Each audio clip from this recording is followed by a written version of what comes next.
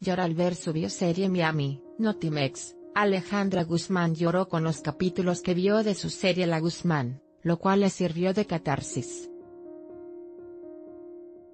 En sus primeras declaraciones sobre la historia de su vida, que se estrenará en 2019, dijo que se revela cómo fue explotada durante su carrera, y no descartó que la historia hiera la susceptibilidad de personas que han conocido en su vida. Creo que he sido valiente pero hay momentos, parejas y representaciones voraces, dijo durante una visita a Miami para promover el tema Soy así, de la serie.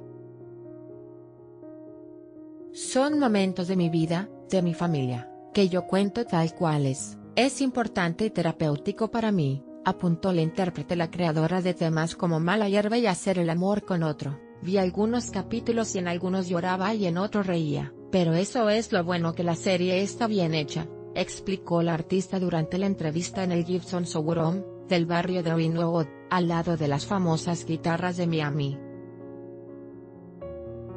Enfundada en un vestido corto de encaje, elaborada en Nueva York por ella misma y sus diseñadores, la cantante señaló que la historia de su vida dará detalles de la explotación que sufrió durante diversas etapas de sus 30 años de carrera. Sí, claro que fui explotada, pero no solo en una primera parte, sino durante mucho tiempo hasta que uno despierta, y creo que eso se refleja en mis ojos ahora, que ya no vivo manipulada por gente que a veces que lo único que le interesa es el dinero, apuntó. Por eso soy feliz ahora, porque creo que la oportunidad que tengo es de vivir, y de ganar lo que yo he trabajado con mi sudor, matizó la cantante.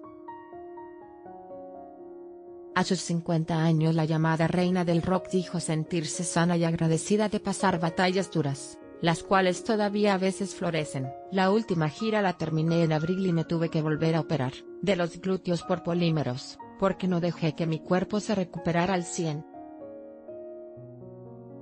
Pero ya cerró y sí me siento con todo. Me gusta cuidarme, viajar y vivir. Antes no vivía, ahora me interesa tener amigos, crear lo que me pongo y crearlo para la gente que me quiere, y creo que el amor es la frecuencia más alta en la que uno puede hacer las cosas, afirmó.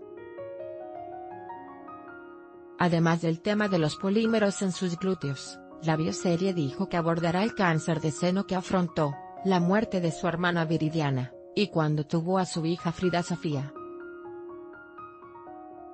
Alejandra Guzmán dijo que 2019 le pinta bien, pues también será de La Voz, de Telemundo, junto a artistas de los que se declara admiradora como Carlos Vives, Luis Fonsi y Wisin, y prepara grandes sorpresas musicales con su nuevo álbum.